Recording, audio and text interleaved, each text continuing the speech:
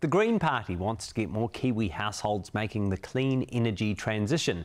It's confirmed a policy which will mean landlords can, can claim deductions for things like installing solar panels and EV chargers and has set an explicit target for 30,000 Kāinga Ora homes to go solar in the next three years. Green Party co-leader James Shaw is with us this morning. Kia ora, thanks for being with us. Let's start with the new settings for landlords. What specifically will be a deductible expense? Well, uh, you named it. It's things like uh, solar panels, um, batteries, installing EV chargers, but also swapping out gas appliances for electric appliances, uh, because ultimately the cost of fossil fuels is going up uh, and uh, rooftop solar um, is really cheap. Uh, and we want to make sure that tenants are able to share in the benefits, not just of renewable power, but also lower household bills. Will it extend to double glazing windows? No. So at the moment, uh, you know, it, the idea is that it has to go above and beyond what's in the rental warrant of fitness because that's a regulated standard. So there is a minimum uh, which we're saying houses need to meet in order to be, uh, you know, in order to in order to get that warrant of fitness to be on the rental market. But uh, even after you've done those things, tenants will still be paying higher bills than they need to. Mm. Um, and if we can swap out their gas appliances for electric and put solar on the roof, then that means that the benefit gets passed through to the tenants who have to pay those power bills. So there is a cap uh, when it comes to those deductible expenses of $18,000. It still requires capital on behalf of the landlord, though. So how big do you anticipate the uptake would be if this policy comes into fruition? Well, we've looked at comparison countries around the world, uh, and you know, I mean, different economies obviously have different solutions, but the proposal that we've got on the table is not dissimilar to what they're doing in Canada, um, and they've got uh, you know pretty good uptake there. Australia's got 30% solarisation across all of their households right now. We're sitting at two percent. And although it's early days in the United States, they've just brought in the Inflation Reduction Act, and it looks like things are moving very, very quickly there. So I think solving that problem that we have at the moment, where the landlord has no incentive at all to install those retrofits those houses because they don't pay the power bill, bringing those interests together, I think, is uh, ultimately a win-win in particularly 20, for the tenant. In 2020, you uh, you, you had a policy where, whereby you'd offer a 50% grant for solar installations in homes, including rental homes. Will you offer the same thing in this election?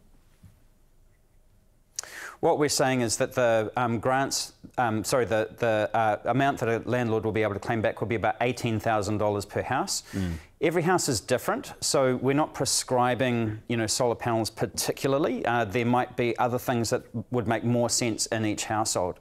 Um, but ultimately, you know, uh, what we've said is uh, it costs about $17,000 or so, $17,500 mm. or so to install both solar plus battery.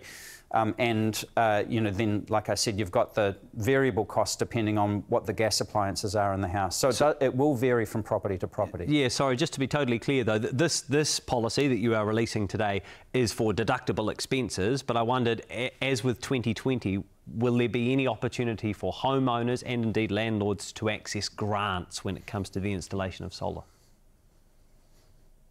Well, the whole policy is going to be released uh, at 11, so I can't reveal everything to you.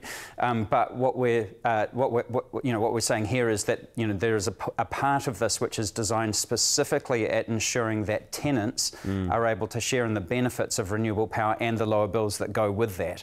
I mean, that goes beyond uh, what we've already proposed around um, upgrading the healthy home standards and turning that into a rental warrant of fitness. Um, and like I said it, uh, earlier, it goes hand in hand mm. with uh, solarising the uh, Kāinga Ora houses as well. Yeah, talk to us about that. What, what do you want to achieve with the Kāinga Ora housing? Well, the government owns uh, just under 70,000 homes through Kāinga Ora. Um, ultimately, one day we would like to see all of those with rooftop solar as well, um, because if you can put rooftop solar and have all the devices in the house running on electricity from the rooftop, that should save about $700 a year in reduced power for the tenants in those homes. So again, we want to make sure that the tenants in Kāinga Ora uh, homes also uh, share in the benefits of reduced power bills and cleaner energy at the same time.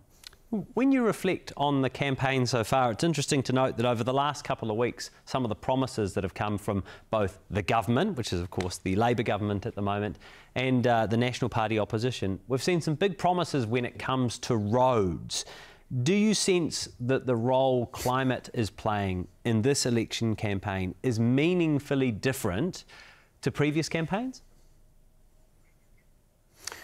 Well, what I'm noticing is, you know, the reaction to those announcements uh, has actually been pretty negative from the population at large. I think, you know, especially in Auckland where people are suffering from congestion and the uh, impact on productivity from having people stuck in traffic for an hour and a half to two hours every day is really um, making an impact.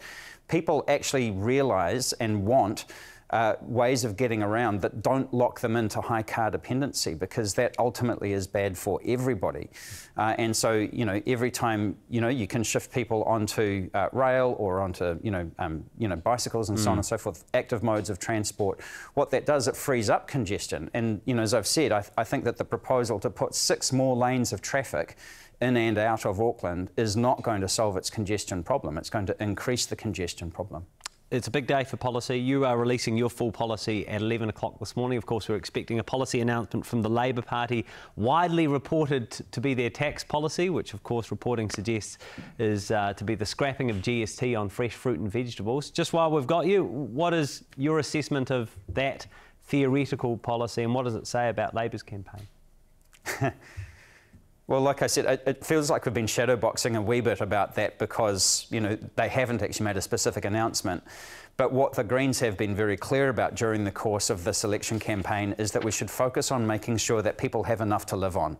Uh, and that ultimately is a function of the incomes that they earn. And so our income guarantee uh, paid for through a wealth tax is our solution, and that would enable people not just to buy fresh fruit and groceries, but actually all of the essentials, mm. uh, you know, in, in, terms of their daily uh, daily bills. All right, thank you very much for your time. That is Green Party co-leader James Shaw.